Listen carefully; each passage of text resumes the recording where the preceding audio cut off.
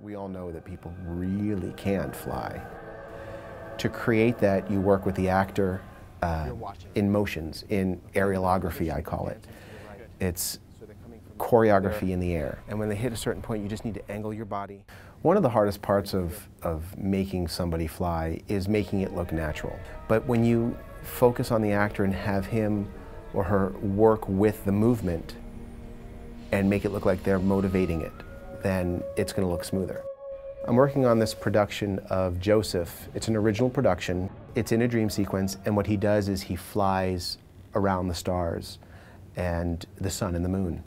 If your foot hits it, it still looks cool because you're just melting right back into the rock. During today's rehearsal, I was finessing with the actor how to react to all of the actions.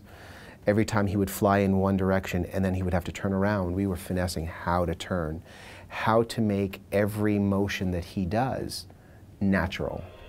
And this is where you dip down, and then you'll come up, look at the star, fly over to here, and now when you start to turn, turn your shoulder and lean into it. There you go. As you back up, try and put your hands out like you're slowing yourself down. Because if you were going backward, it's a little bit like a mime because you're miming what it would feel like to push off the air.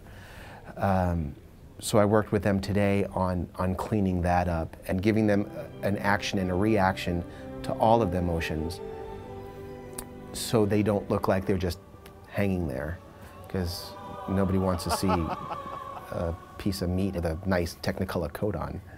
I sit in the back of the house or I sit house left or right and I look at all the sight lines to make sure that whoever's sitting where is seeing the same thing um, in a believable form.